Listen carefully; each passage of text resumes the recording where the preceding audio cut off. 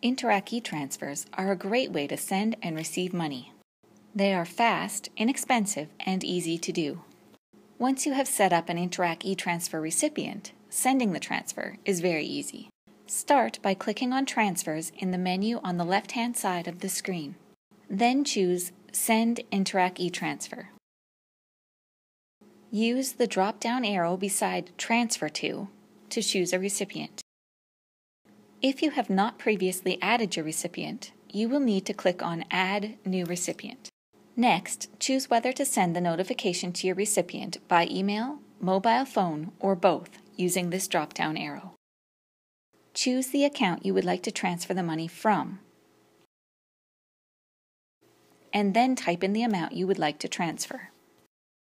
In this field, you can type a message to your recipient or leave it blank. Once you are finished, click Send Transfer. This will bring up a confirmation screen. Please double check that all the information is correct, and be sure to read this notice regarding the service charge. If you need to make any changes, you can click Edit and it will take you back to the previous screen. Once you are sure everything is correct, click Confirm. This brings up a Send Interac e-transfer receipt, confirming that you have successfully sent an Interac e-transfer it is a good idea to record the confirmation number.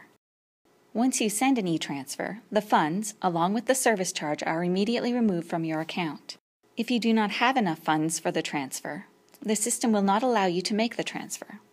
Your recipient will usually receive the notification of the e-transfer approximately half an hour after you send it, but it could take an hour or more to send. Your recipient will have 30 days to retrieve the e-transfer.